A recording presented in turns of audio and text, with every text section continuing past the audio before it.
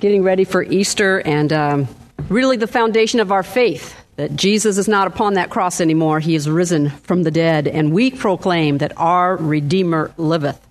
I think as we study Tabitha tonight, or Dorcas, as actually she has two names. Isn't that uh, it's an amazing thing in itself that this woman has actually two names?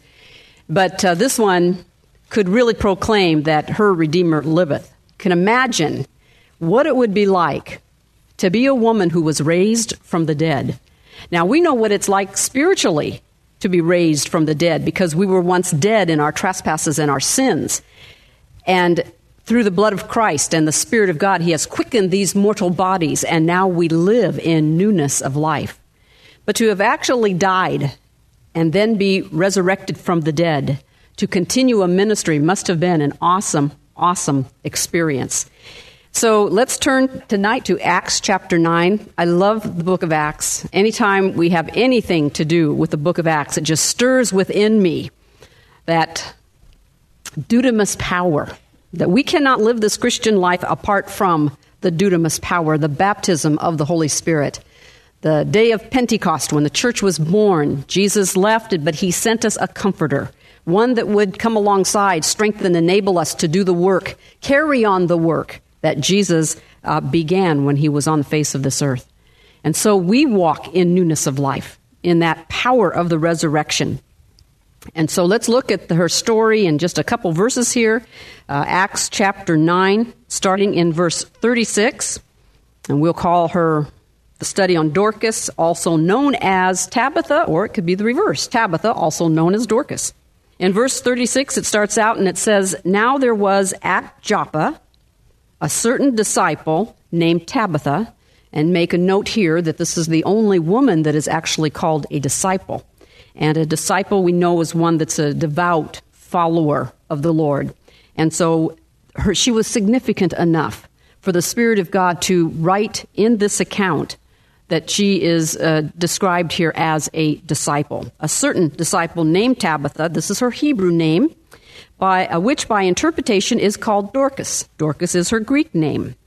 This woman was full of good works and alms deeds which she did. And so there was just goodness pouring out of this woman. Alms deeds, not only in deeds of kindness or acts of love, but also financially. There was some uh, monies involved in the alms deeds. Alms or uh, offerings or financial help in some way. So it involved both material things and it involved money that uh, she was responsible for, in which she was uh, able to help the poor and the needy.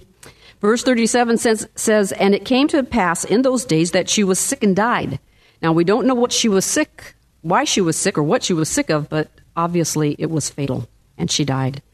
Whom, when they had washed, they laid her in an upper chamber for, and for as much as Lydda was nigh to Joppa, this is another city, maybe about 10 miles from Joppa, it was all uh, just a very short distance, and the disciples had heard that Peter was there.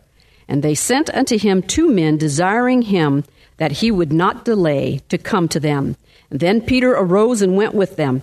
When he was come, they brought him into the upper chamber, and all the widows stood by him, weeping and showing the coats and garments which Dorcas made while she was with them. But Peter put them all forth, he put them out, and he kneeled down and prayed. And turning him to the body, said, Tabitha, arise. And she opened her eyes, and when she saw Peter, she sat up. And he gave her his hand. I love that because she had given her hand. And in her time of need, there was one to give her a hand. I just, I love that. And lifted her up. And when he had called the saints and widows, presented her alive.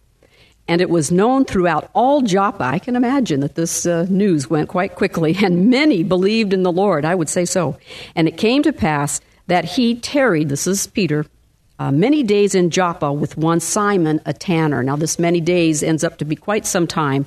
This was such an open door of, of, opportunity for Peter. There were so many new believers, so many converts to the faith, that he stayed behind to establish and teach them and God opens some wonderful doors. So let's ask God's anointing upon His word tonight. Father, our hearts are stirred up already to study one who was raised from the dead. What an awesome miracle. Again, we see and we are reminded that you are the God of the impossible, and we see you working in the lives of your people. Father, we just ask that you, by your Spirit, would remind each one of us that you are still the God of the impossible.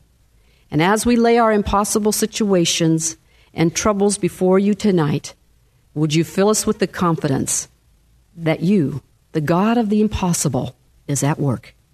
We may not see it, it might not be obvious, but by faith we believe it. So, Father, would you ignite our hearts tonight? Would you, by your Spirit, illuminate your word, and may it pierce our hearts, and may, there bring, may it bring forth, as your word is planted deep within us, may the seed of your word bring forth much fruit in our lives. Enough fruit, Lord, to, to feed a multitude. In Jesus' name we pray. And all God's daughters said, Amen. Dorcas was uh, alive at the time that Jesus walked the face of the earth. The church at this time is in its infant stage. It's approximately six years old. Dorcas is a what they call a Hellenistic Jew, and what that meant is is that she was raised in the Greek culture and spoke the language. And so that's why she has two names. It's interesting to note that Peter calls her by her Hebrew name, Tabitha, but the church calls her Dorcas, her Greek name. And uh, so there's the reason for um, the two names. Both of those names mean exactly the same thing, though, in, in, in interpretation. She's not a poor woman. She owns a two story home. It was customary that when one died, they would uh, wash the body, and she had an upper room in which they laid her, and so that, that's what the scriptures say. They laid her in the upper room, indicating that she had a two story home. It wasn't that she was extremely wealthy, but she did have means, and she had resources of some type. And yet her ministry is to the poor, to the needy, to those that are hurting, to the lonely, to those that have been abandoned or maybe neglected or need love. Do you know people like that? Do you know people that are hurting? Do you know people that are in a place of abandonment? Maybe from their family, maybe from their friends, maybe they've been transplanted from another state or something, or even another country, and they're feeling quite lost, maybe needy in a sense. Do you know people like that? Wow, what a ministry. You know, whenever we minister to the, the poor and needy or the hurting, we will, we will, when we have them in mind, we will always have someone to minister to. This is a powerful, powerful ministry that Dorcas realized the need, and she realized the, the, uh, the potential in ministering to people like this. Dorcas, being raised from the dead, was God's stamp of approval upon her life and her ministry. It wasn't Peter that raised Dorcas from the dead, God raised Dorcas from, from the dead. And I thought to myself, I've read a lot of stuff on this, and, and one um, question came up that was, was the fact that do you think that Dorcas regretted the fact that, you know, she dies and goes to heaven and they're praying her back? That she would have regrets of, you know, I mean, how many calluses do you think that she probably had on her fingers of sewing all these garments? I mean, this was tedious work, this was hard work. And to think that, you know, would she have had any regrets? But the type of woman that Dor- Dorcas was, there would be no, no regrets because this was the master's plan. That she would come and continue the work that he had um, uh, showed her to do. And so that's God's approval. And that's so important for us that when, as we serve the Lord, as we live our lives before Him, so often we want man's approval. And that's okay if it comes. But what is far more important is God's approval that peace that passes understanding, that we are a child of God, a daughter of God, that is right where we're supposed to be doing just what we're supposed to be doing. We are, we are fulfilling God's will in our lives. And we have God's stamp of approval. In that, it brings courage and strength and just a vision and passion. And anybody that comes into our path, anybody that comes into our lives or walks across our path, we have a confidence that God has sent that person and there's one reason why God would send that person, and that would, would be for them to be strengthened in the faith or come to know the Lord. God's stamp of approval upon her life. At this time, remember now, only Jews were saved. No Gentiles had entered the, the Christian church at this time. Church is in its infancy. There's no, no Gentile until the next chapter, in chapter 10, when Cornelius comes to Joppa and searches out, well, actually, he sends somebody for Peter to tell him about the good news. He's searching. He's searching for life. And so Cornelius um, becomes really the first Gentile. And so we see that Dorcas dies in order to bring about revival. Obviously, there was a tremendous revival happened. Many believed in the city of Joppa. But not only that, she ushers in a new era of the church. She ushers in the time of the Gentiles.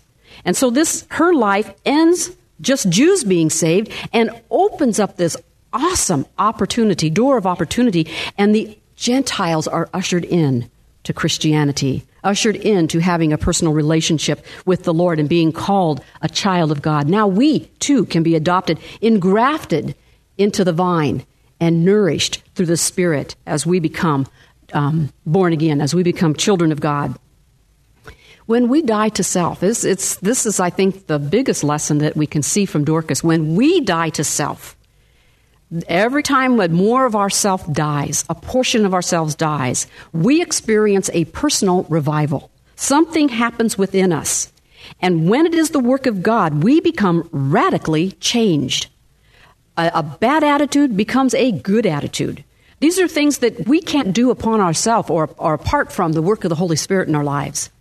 And when we submit to that call of God, when He says, deny yourself, pick up your cross every day, and follow him. More of me dies. More of the old woman dies, the old self. That just that self nature, that sin nature, that that rebellion, that stiff neckedness, that that begins to die. That we begin to shed that old man and we begin to put on the Lord Jesus Christ more and more and more. Then what happens within us is that we are revived inside and we have more faith and we have more trust in God and we do believe in miracles because God is doing something inside of us. He's transforming us. He's becoming more real to us. And the result of that is that many will be influenced for, for the Lord, for the kingdom of God. They're going to look at you and say, What has gotten into you? And you're going to say, Jesus, more of Jesus. And that's, that's really the heart's cry is, is uh, less of me and more of him. Her place of residence. It's always interesting when we study the people in the Bible of their place of res- residence. It's, it's got a significance to it. It tells us here in verse 36 that she was in the city of Joppa. Now, Joppa is the oldest city um, in Israel, one of the oldest city, cities in Israel, dating all the way back to the flood. It's a beautiful seaport city along the Mediterranean Sea. It's about maybe 40 miles from Jerusalem. Today it still exists and it's called Jaffa, uh, not too far from Tel Aviv. And this is the city that brought commerce to Ju- Jerusalem. It's what connected Jerusalem to the Western world. And in this seaport, the uh, cedars of Lebanon came in to build the temple. And so this was the main seaport, the harbor, where all of the goods from the, from the uh, Western world would come in and um, made Jerusalem uh, you know, wealthy and, and connected it to the world. However, this city also abounded in widows and orphans. For you see, many that would take on the um, occupation of voyaging the sea, the sea was violent and took many lives. And so the consequences of many of these women is that they lost their husbands at sea. And with the husbands that died, um, many of them lost their income. And the world was not too kind to widows, and a lot of them ended up being beggars and a lot of children were orphans. And so we see that the city was filled with opportunity to minister. The church at uh, Joppa was growing, it was on fire, it was flourishing. Remember the day of Pentecost? Peter got up, he uh, uh, preached a sermon, thousands came to the Lord. They in turn went back to um, their cities and they began fellowships. And so there was obviously a on fire, flourishing church here in Joppa. However, it isn't the church that made Joppa famous, like Ephesus or Thyatira or Pergamus. No, it's Dorcas. Joppa is famous because of Dorcas being raised from the dead and her deeds of, of kindness and her ministry. This woman gets saved. Somebody comes back, shares the gospel. She gets saved. She becomes a pillar in the church, and her ministry is so important they can't do without her. And I thought about our place of residence where we live. our place of um, where we abide, where we call home. Do we see that as a place that God has put us? God has put us there.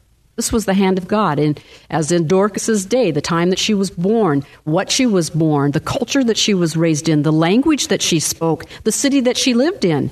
It was the hand of God upon her life. Do we see that today as well? Do we see that our place of residence is the place that God has put us? And no matter where that just happens to be, your place of residence, whatever you call home, whatever your address is, our task in that place is to be an influence for God, to influence God in that place. It's our Jerusalem. That's where God begins the work. And we have to be reminded every so often how are you doing in your Jerusalem? Have you blown it lately? Have you had an attitude? Have you had an anger problem? Have you been frustrated with those that you live with? How are you doing in your Jerusalem? What a good, you know, check in the in our hearts tonight to remind us that ministry, the pow- most powerful ministry, is right within our own homes. How are we living? That's where we're free to be who we really are. Here at church, we put on a good, you know, our best behavior, I would hope. We come dressed up. We get maybe a new outfit to come to class, you know. We, we really put on our best, our best foot forward when we come to church and fellowship and we're into the groups and ministering one to another. But at home, we kind of let our hair down. How are we doing in our Jerusalem? Just a question. That the Spirit of God would rule there too. And the greatest change is there within my own home. That those that are closest to me can see a radical change, not just a little teeny change. I'm talking radical I'm talking holiness unto the Lord. I'm talking deeds of kindness, words of kindness, actions. My whole appearance becomes different. My ambitions are different. The way I talk is different. But it's sincere, it's honest, because it's a work that God is doing inside of me. And when that is seen in home, at home, that's a powerful, powerful tes- testimony. That's where we're to be a witness first. That's how the book of Acts begins. That we would be witnesses in Jerusalem, Judea, Samaria, and unto the uttermost parts of the earth, starting with our Jerusalem. Also, this city, remember, it is famous also or known as the place that um, Jonah tried to run from God. God says, Go to Nineveh. But Jonah goes to Joppa to catch a, bu- uh, a bus, a boat, bus, boat, whatever, plane. What are you catching, you know? to go to Tarsus. Are you running from something? Are you running from the work that God wants to accomplish in your life? Joppa also represents, oh, daughters of God, sit still. Sit before the Lord. Find out what He's doing within your life. There's that uneasiness that, you know, that's the first thing, with the first inclination when things go wrong. I want to just run. I just want to get out of here. I just want to go away. I want them to go away. And we have this tendency to run. But that's where we need to sit. Don't, don't go to Tarsus when God is saying go to Nineveh. I don't want to go to Nineveh. Nineveh, those people are just, they don't, they're not even worth talking to. They're not, they're not worthy to be known. They're not worthy of Christianity. They're not worthy to know you, Lord. That's what Jonah said. And then when Jonah finally got swallowed up by the fish and all those horrible trials that he went to, he comes back and he says, Okay, God, I'm ready to do what you want me to do. What would you like me to do? And God says, Go to Nineveh. Stop running. How about her beautiful characteristics? The first thing I see is that she reflects Jesus. Jesus shines through this woman. Notice that it says that her name is Tabitha, by interpretation, Dorcas. Now, the word by interpretation means to unfold the meaning. And so Tabitha is her Hebrew name, being Jewish, and Dorcas is her Greek name because she was raised in the Greek culture. Both of them um, mean the exact same thing, and this speaks of her inner beauty. The name means, Dorcas and Tabitha both mean gazelle. Now, gazelle is a small, deer like animal, very beautiful. It has distinct markings. It is a very graceful little deer. It can run. Um, you know, you think of hinds feet in high places. The thing that's significant about this little gazelle is it has big brown eyes. I mean, that's just very, very significant upon this animal. And we think of her inner beauty, that she is like a gazelle. And remember, the psalmist says that as a deer pants after water, so I after you, O Lord. Is that the desire of your heart? Is that what's going on deep within you? Is that you are as a deer that's running through the forest, maybe trying to get away from someone that is pursuing it, and it's just out, uh, it's out of breath and it's just thirsty as a deer pants for the water. Do we pant for God? Does our soul desire to be only satisfied by Him? That we hunger and thirst after righteousness? That inner beauty. It speaks of the grace and the beauty of the Lord seen in her. This is something that others can see. It isn't just something that I have to tell everybody that I am a Christian. I am living the Christian life. That's what the disciple, um, the call of a disciple is. I don't have to say what I am. I don't have to say that I'm a Jesus freak or I love the Lord or I love Jesus or I that's who I stand for. No, he's on my lips. He's in my heart. He's shining through us. And that that's because there's a longing deep within to get closer and closer to the Lord. It's uh, it's a, a one that is benevolent and caring. The fruits of the spirit are operating within our lives. We're getting better at this kindness thing. We're getting better at unconditional love, loving these people with no conditions. That's a kind of a lifetime lesson. But every time we have an opportunity, we get better and better at agapeing people, loving them without any strings attached. Just loving them because that's the command of my master. A disciple is like a bond slave. It speaks of the caring. I think of the eyes, the large eyes on this little deer. She had large eyes of love and compassion to see more than just a need. She saw these people hurting, that they were in need. She reached out to the poor and needy. She saw that they needed something, but it was more than just recognizing a need. She received a solution. That, Lord, how can I help? If you're going to show me the need, then, Lord, I want to know how do I become part of the solution to that need? Or am I the solution to that need? So it was more, it was like insight. She had insight to people's situations. And the Lord just used her in that way, and she was able to help. She was right on in the way that she helped. Wasn't too much and wasn't too little. Was right on the money. She's humble. Not only is she she reflects Jesus in this, these beautiful characteristics, but she's humble. Her story is well known, but yet we only have fragments about this woman. We don't have a full picture of who she was or where she came from. She's not a Deborah. She's not a Hannah who could offer a son unto the Lord or pray for a son. She's not that. She's not an Esther that was um, very, very, you, you, know, used of the Lord an, on a national level. She's not a speaker. She's never given a Bible, uh, Bible study. She doesn't give women's Bible studies in that sense. She's done nothing spectacular. There isn't anything great that she has accomplished or what she has done or anything about her that we know as, as far as that goes. She has no family history. We don't know who her family was or where, where she came from. We know that um, the tribe of Dan settled in Joppa, so maybe she was from that tribe, but we just we don't know. We just know from her name that she was raised in the Greek culture and spoke the language. She has no children of her own, and yet she has many, many spiritual children. Many so loved her that they couldn't do without her. She's not a missionary. She doesn't leave her hometown. She sees that her work of missions is right out her front door. She looks out there, and there she's utilized right in her own city, right in the place where she lives. She has no husband, and so we see the significance of a single woman having a predominant place in the work of the Lord. That that um, this is what she was raised up to be, and so so important that again God's stamp of approval, raising her from the dead, proves that. She just simply had a heart to serve the Lord with the gifts and talents that she had. She didn't hide them. She wasn't puffed up with pride because she had this great um, ability to sew. She must have been an awesome seamstress. An ability to um, manage money in a godly way. She, she's not hiding these things. She's not hoarding these things. She's not becoming puffed up in these things. She's just giving these things to the Lord, what she had, and saying, Lord, use them. You've given them to me. Now, what do you want me to do with them? How can I use them for your glory and honor? She would be considered one of those little people. You know those kind of people? It's like most of us, one of those little people. But you know, that's exactly who God is looking for those little people. The ones that are maybe in a lot of ways nothing great, just ordinary women that have some kind of a talent, some kind of a, an ability.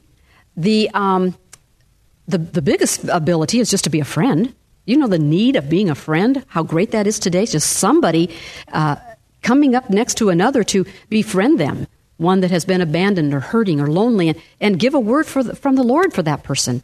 Love that person. Be kind to that person. Do kind uh, deeds of kindness. That's what God's looking for. When Pastor Steve and I were invited to um, Washington, D.C. a few months ago, At the time, our schedules were extremely busy. Him, of course, more than I. But I mean, you know, just speaking engagements that he was um, involved in, and just the work here at the ministry, and just the demanding schedule. And we were moving at the time, and we're trying to get that all organized. And we get this call to go to Washington D.C., and there's just lots of demands upon his life, and people wanted to see him and he just kind of came up with this saying that you know he just says well just just tell him i don't have time for little people it's just like it's just like too demanding. You know, it's just like something's got to stop. And so, because now we've been invited to Washington D.C. to be uh, present when President Bush signed the partial birth abortion ban, that you know we're we're big people now. We're we're like major big people, and so he was just kind of you know just to I guess re- alleviate stress or tension is just just tell him I don't have time for little people. That was like his whole thing. So, our dear beloved Susie, who is so benevolent and so caring and has such words of wisdom at times. She said, Tell him it's a good thing that President Bush has time for little people. it's little people that God is looking for. It isn't a great gift, it's not a great talent, it's something of ourselves that we give to the Lord in order to help another. And it isn't just a charity thing. This is helps ministry in its truest form. She is definitely the founder of the helps ministry. There's a spiritual inclination to this whole thing. That the reason that I would help, the reason that I would give of myself or get involved in a situation is not just to relieve somebody's pain or discomfort, but it's more deeper than that. It's for a spiritual implication that, that I would have the opportunity, as God leads us, to strengthen another in the faith or lead someone to the Lord. That's what it's all about. Not only that, but she's yielded. She did what she could with what she had. She did what she could with what she had. She has a sewing needle. Nothing of significance about a sewing needle, but this becomes a lasting memorial. Her story, her life, teaches us what the body of Christ is all about and the significance of women in the body of Christ. The little things, it's like that Tabitha's touch kind of thing, that special touch of love and kindness in a deed, um, in a word, in a hug, in a phone call that strengthens another in their walk, that makes the difference. Have you ever called somebody just out of the blue and you've had a conversation with them and they would say to you, You've made my day today? I just needed somebody to say something of what you just said to me. You just made my day. Then you know you are becoming like a Dorcas. She yielded what, what she, uh, she did what she could with what she had. This is the yielded value of little things. And I want you to write that down. This is a, a pretty deep thought as I thought about this. I love this concept. The yielded value of little things. We know that God calls little people, ordinary women, women that just want to dedicate their lives to the Lord, just have a heart to serve. And they're going to give whatever it is that they have that God has given them in the first place, and they want to use these things for His glory. And now we see the yielded value of little things.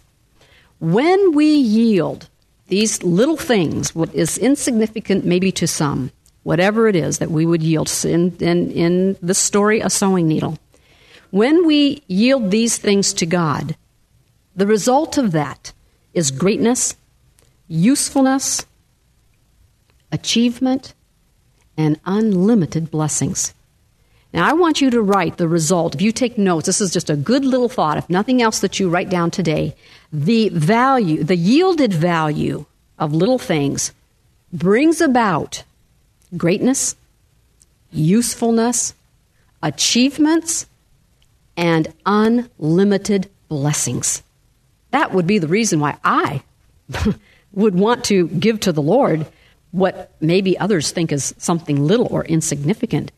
Now, little things are always going to be little, but when they are yielded to God, they become great. They become something of significance. And that way, everybody has a place, everybody has a purpose. God has a work to do through you, even though a sewing needle, I mean, has no significance at all, but look at the lessons that we're learning from this life. Dorcas, who yielded to God her sewing needle.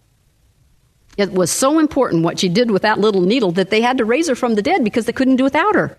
And that was God's stamp of approval that He approved of this ministry of reaching out and caring or giving to Him the little things so He can make them great. We are not to despise the small things, the things that seem so insignificant, or why bother, or you know, they're not, it's not going to matter if I would write that note or if I would make that phone call. What difference is that going to make? Or you look at the situation and it's so overwhelming and you're only one person. What difference are you going to make? It's those little things, those, those little thoughts, those words that are just anointed by God's Spirit, that deed that God has led you to do that will make a difference. For, for Dorcas, what made a difference was the whole experience brought revival. Not only that, it opened up the door and ushered in the Gentiles. So we can thank her today that she was yielded to God's work because of us. How many of us are Jews here? Anybody a, a Jewish believer here? No, we're all Gentiles. And it ushered in our time that we would come to know the Lord. A sewing needle has no worth in, in itself. It's just a small, inexpensive piece of metal uh, of can do nothing by itself. It just lays there. It has a sharp point on one end and a hole at the other where you thread the thread through it. It is of no significance. However, in the hand of a talented seamstress, it becomes a valuable, useful tool. Now, I love to sew. I would consider myself, not to boast or anything, but I'm talented seamstress. I love to sew. I have loved to sew since I was eh, able to sew. I don't know, I'm junior high. I loved sewing. My mother sewed. I love sewing. And I take a needle. I am not afraid to pick up a needle. Some people are so afraid to pick up a needle and thread it. I've seen just, oh, I, I just don't know what to do. I, just give it to me. What do you need? Something hemmed? Do you need something uh, tailored? Do you need curtains made? What is it? It doesn't frighten me at all. I know what a needle can do. Sewing needle, of course. I guess in this culture we better say a sewing needle. Without it, there would be no garment, there would be no ministry, no, me- no needs would be met, just like our lives.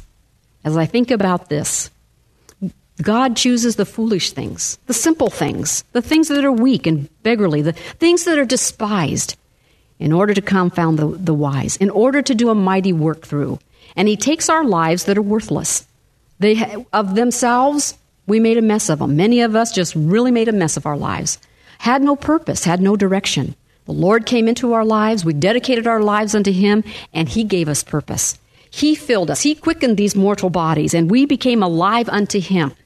And that we would now yield our instruments and all of our talents and all of our abilities to Him, that He would use them for His glory and honor. And we, in the hand of the master craftsman, He takes this needle, you and me, we're like the needle, and God uses us to pierce a hard heart to come know to come to know Him.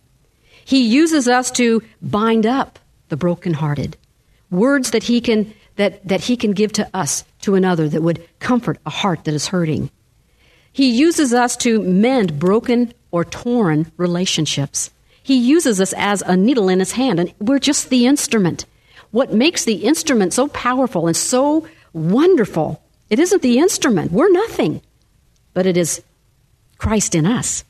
It is us yielding to the hand of the master crafter that makes the difference. And he uses us for his glory and honor, and many lives are touched. And the reward of that, blessings unlimited, we understand what satisfaction and fulfillment is all about. When you can reach out, it says it's more blessed to give than it is to receive. It is a blessing to receive. It's not that it isn't, but it's more blessed to give than to receive. But believe me, we know those of us that have stepped out and those of us that are doing, and those of us that are involved in ministry some way, somehow, we know the blessings of it. When a life has been touched, and we have been the instrument of helping someone get on their feet and have victory in the Lord, that's the greatest fulfillment ever.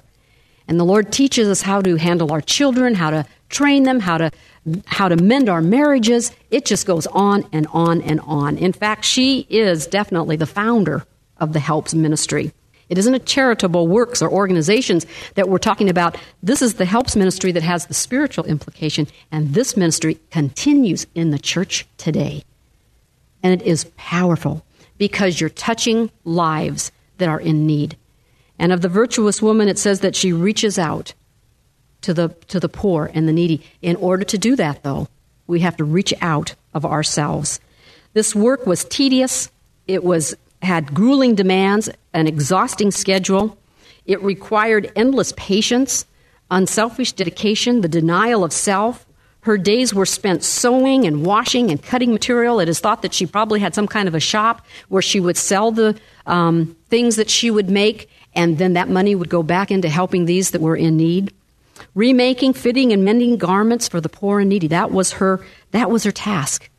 And what made it so great, the reason that she was so successful and had such a powerful ministry, is because she assumed responsibility.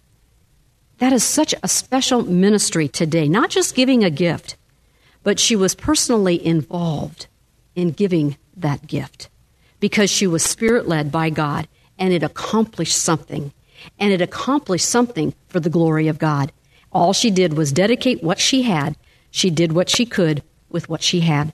She dedicated that little sewing needle to God, and He, through that, brought forth a wonderful, powerful ministry, a, a very needed ministry. The much needed ministry of being a friend, just reaching out and touching someone for the Lord. We can all do that.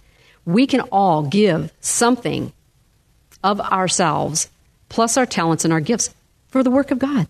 And so I encourage you tonight be a Dorcas. Oh, there's a need for that in the church. There'll always be a need for that in your uh, the in the world, within your home. It's just constant that we would just take what we have that God has given us and we say, Lord, use me for your glory and honor. Ordinary women doing extraordinary things for the glory of God because we've been empowered and we're led of the Lord. Amen. So, amen. Father, we thank you so much. What an encouragement that, Lord, we can too have a Dorcas ministry. Lord, we thank you again just for your word and the people that we can learn from. Bless my sisters, Father. Ignite within them, stir up within them just the fact that you want to use them far more than we want to be used. But when we give in to you and we allow you to use our lives, the blessings are unlimited. Thank you, Father. In Jesus' name, amen.